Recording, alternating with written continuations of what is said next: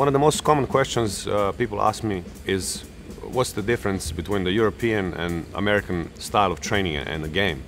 Well, besides the obvious, you know, the pace of the game, the USA pace is much faster than the European pace.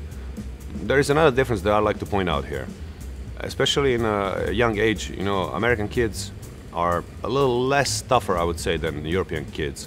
And uh, a lot of campers here at Step It Up I love to call pretzels, you know. Oh, pretzels, pretzels, pretzels! They're stiffest pretzels! Oh my god. You all pretzels! Pretzels come in all kinds of, uh, you know, uh, shapes, sizes, but I like the salty pretzels the most.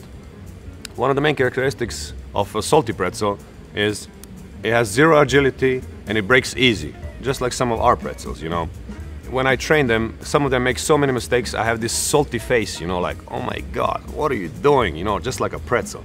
But still, we love pretzels here.